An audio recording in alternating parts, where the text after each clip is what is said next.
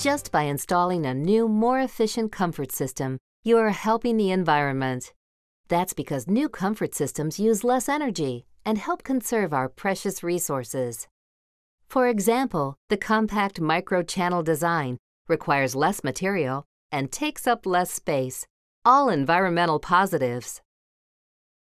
Another example is our modulating gas furnace that features 98% energy efficiency, meaning you extract more heat from less gas, saving our natural resources and your financial resources.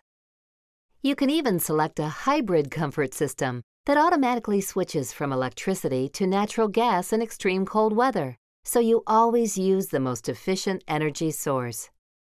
In addition, when choosing a new heat pump or air conditioning system, you get the new environmentally friendly refrigerant, R410A.